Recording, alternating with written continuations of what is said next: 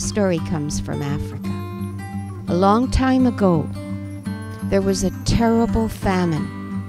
All the animals were hungry, and the birds were especially hungry, and Turtle was hungry. The birds decided that they would fly up to the land of the sky gods and ask the gods to send rain so that the crops would grow and they would be able to find food again. He went to the birds and he said, You've got to take me with you. But Turtle, you can't fly.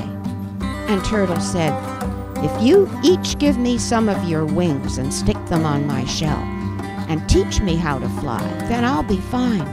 So up they went, all the birds and Turtle flying up together.